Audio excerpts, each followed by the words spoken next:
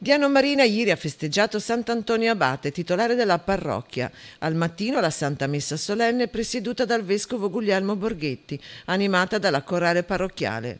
Nel pomeriggio i vespri pontificali e a seguire la processione con la statua del santo per le vie della città, che ha visto la partecipazione della banda musicale Città di Diano Marina, le confraternite, le associazioni laicali e le autorità civili e militari della città degli Aranci.